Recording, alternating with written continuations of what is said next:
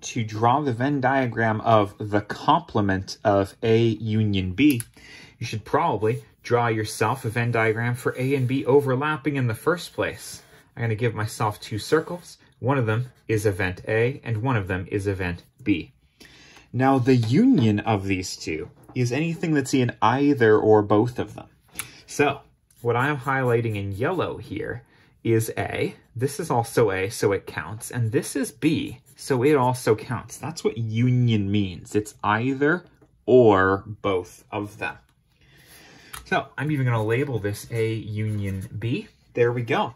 But what we want to do is take the complement of that. The complement is the exact opposite.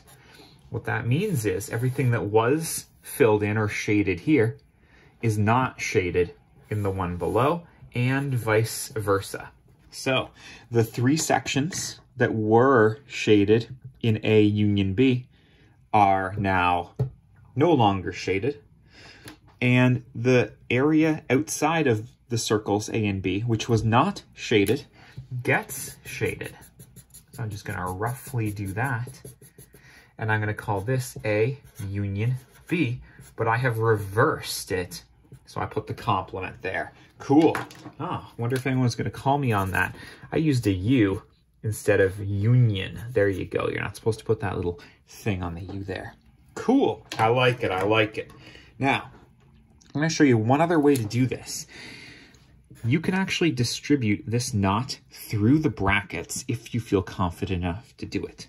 You have to not A, you have to not B, and you have to flip this sign. Union becomes intersect. So uh, the complement of A union B is the same as not A intersect not B, which means you are shading only regions that are both, or rather, that um, that are both not in A and also not in B. Intersect requires both of these to be true. And so if something is in either A or B, it does not get shaded here. So this section in the middle is A, and so it does not count for not A. This is A, so it does not count for not A.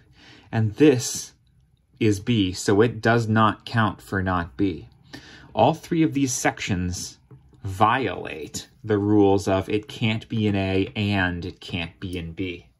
The only area that actually isn't in either A or B is this outer area. Oh, look, it's the same as what we asked for originally, and it's the same as this diagram we came up with on our own.